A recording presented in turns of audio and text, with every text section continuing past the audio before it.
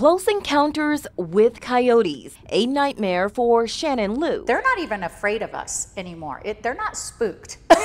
you know, if I'm honking my horn and they're just looking at me, you know, what's next? Spotting coyotes inside this Seven Hills community is not unheard of. Not really thinking anything of it other than they're just hanging out on the golf courses. But to hear this was unusual for her. Literally hearing of people's animals being mauled in their backyards. She took to social media to warn others. I got on a um, app called Nextdoor and uh, voiced my concerns and reached out to see if anybody else was um, experiencing this. As the responses poured in, it's a false narrative to put out there that coyotes are not going to be harmful. They are killing pets, they are taking pets, and they are charging people. One resident's story stuck out. Um, Christmas Eve, uh, a big coyote jumped over my eight foot wall and landed so powerfully and took my dog immediately and then jumped back. It was like a Superman coyote. And to this day, it's so very hard. So, why are communities seeing more coyotes on the prowl? It could be because the valley has enhanced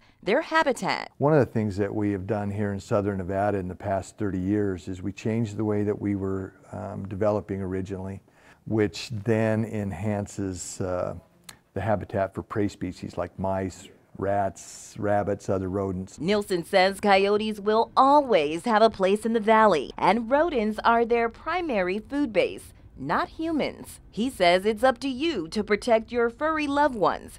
They can't tell the difference between a rodent and, and somebody's pet.